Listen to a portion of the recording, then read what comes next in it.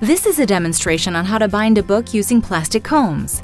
For this setup, we're using a Rhin-O-Tuff Onyx HD 4470 comb opener and a Rhin-O-Tuff Onyx HD 7700 Ultima Heavy Duty Electric Punch. Most manual paper punch and plastic comb opener tools will follow the same basic process.